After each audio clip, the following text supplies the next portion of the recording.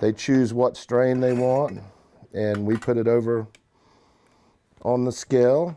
Honeysuckle Hemp, a shop specializing in the sale of hemp, is already starting to smoke the competition. They look almost identical. The biggest difference between hemp and cannabis is the THC level. According to recent Alabama law guidelines, hemp products that contain less than 0.3% of cannabidiol or CBD can be legally sold in the state. It's uh, you know just got going again here in the state since December the 20th, 2018. With that in mind, Honeysuckle Hemp provides customers over 450 legal hemp products, many of which are made to help a variety of health issues. You never feel a big punch, and the next day you never feel any type of hangover. It's simply cold press extracted oil from the hemp flower. The hemp products can actually be used either in oil form or in its raw flower form.